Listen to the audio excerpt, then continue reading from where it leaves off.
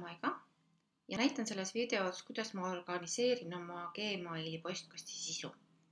ma kasutan selleks erinevaid äh, kataloogide või kaustade silte ehk näiteks iga klassi jaoks on mul tehtud oma silt ja kui selle klassi õpilaselt tuleb mulle näiteks töö või teade, siis ma märgendan need äh, selle sildiga.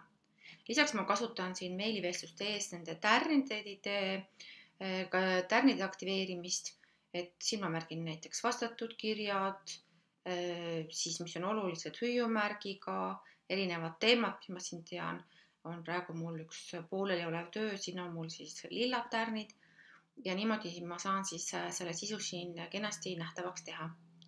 nüüd äh, need klasside sildid on siis tegelikult kuvatud siin vasakul ääres. siin saab siis määrata nendele erinevaid värve siit eh, kolme punkti alt.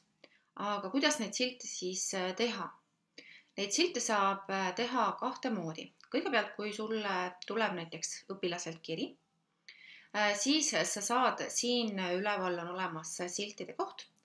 sa saad lisada siia olemasolevasse, mm, teha siia näiteks linnukese või siis luua siit päris uus silt teine variant on äh, teha sildid äh, postkasti seadetest.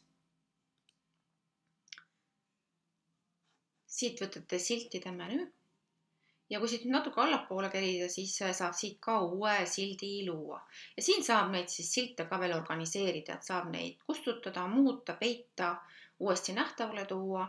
et see kõik asub siis siin, siin seadete menüüs. et kui nüüd postkasti on meil tulnud siis on jah, üks võimalus siit ülevalt talle silt lisada. aga teine ja palju lihtsam variant on siis see, et ma lihtsalt lohistan selle kirja õigesse äh, kausta, kui see kaust mul olemas on.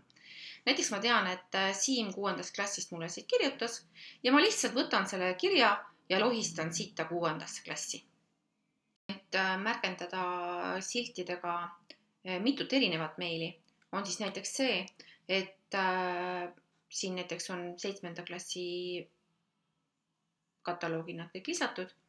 et kui ma näiteks äh, tean, et, äh, et äh, Maksim on seitsmes klass ja näiteks tal on Laura seitsmes klass ja siis on järsku Siim seitsmes klass.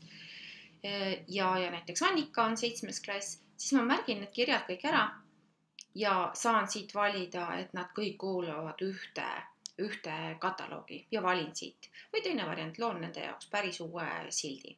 ja silte ei pea looma siis mitte klasside järgi, vaid äh, teile sobival äh, moel. aitäh kõigile!